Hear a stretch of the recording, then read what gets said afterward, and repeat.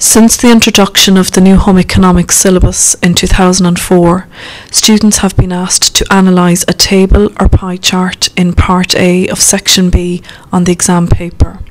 Students should note this is a compulsory question and can be worth anything from 18 to 24 marks, which works out at 4.5 to 6% of the overall grade. Unfortunately, there is no specific chapter in home economics textbooks which covers this type of question, so the best way to prepare is to go back over past exam papers and practice every table and pie chart from 2004 to 2013 inclusive. There are a few general guidelines which need to be adhered to when answering these types of questions. The following sample answer covers some of the key points required. Tabulate your answer for this question. Draw out the outline of the table on a rough worksheet of paper. First, highlight the two key terms in the question. There are two key terms every year.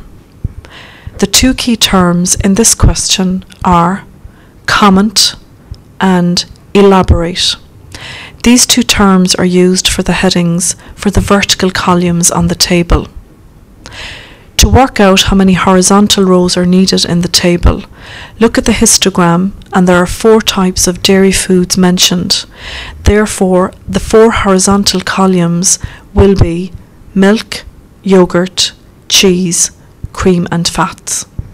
When writing a comment on consumer consumption of each dairy product, Always refer to the percentages in the table, pie, or histogram.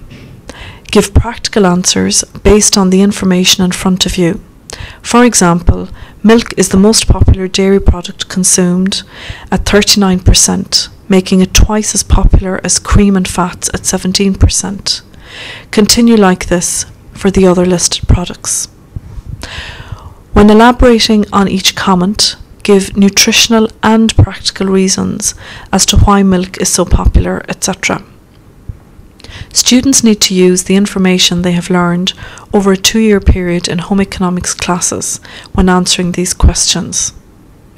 Once you have a structured approach to your answer and have confidence in what you are writing is correct, students should do well in this area. Confidence can only be achieved by practicing all past exam questions from Section B, Part A, Question 1.